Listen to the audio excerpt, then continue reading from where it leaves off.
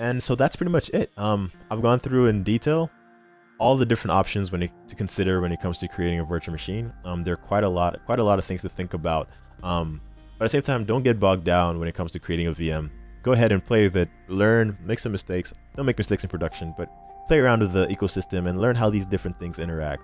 Um, this is pretty much what I've learned and what I've read. I'm just trying to throw that out to you in as as uh, condensed form, in as condensed in an effective way as I possibly can.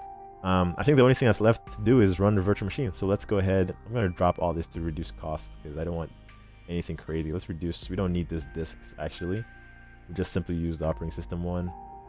Uh, let's use preemptibility. Remember, this will drop costs even more. Let's actually just use one. We've got our cost down to $9. I think we can use an HDD here instead of SSD and drop that a bit more. Um, yeah, let's go ahead and do that. Run it. So you can see our instance has its uh, internal IP that we set to the 0. 0. Uh, the, the 0.3. This, by the way, if you click that, you get the network interface card information. And that tells you what network it's part of and all this other stuff. Remember, we had enabled the fire.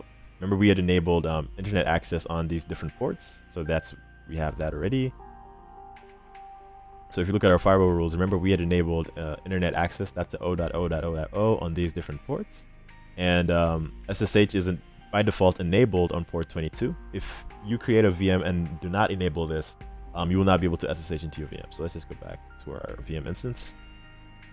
And if you want to connect to your virtual machine, go ahead and click SSH, open up a new window, and give it a bit of time, especially if it's the first time you're SSHing into this virtual machine. And that will give us access to this VM.